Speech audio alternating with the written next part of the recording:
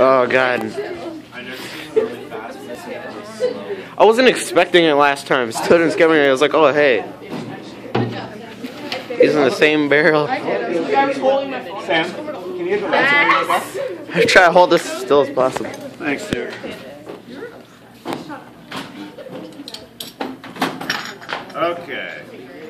I will, spa- I will spare you all the details of the explanation like last time. Actually, maybe I should. Little isopropyl alcohol, man.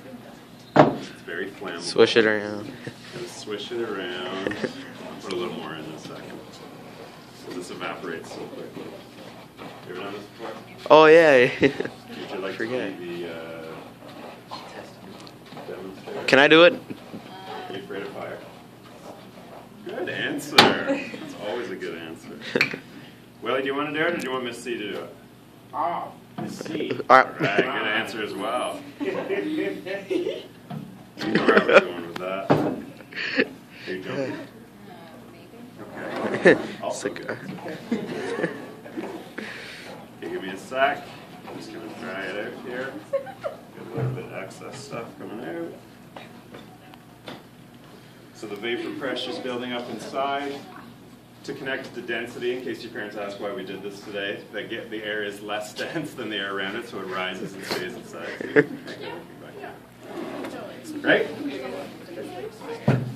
I'm good at that. I won't make you do it. I'll do it. I know what's coming. Don't worry. Okay, you ready? Yep. Ready? Open on, open on the fast one. Uh, Should be a fast one first. yeah. Should go. Ready? Okay. Oh, that was a crappy one.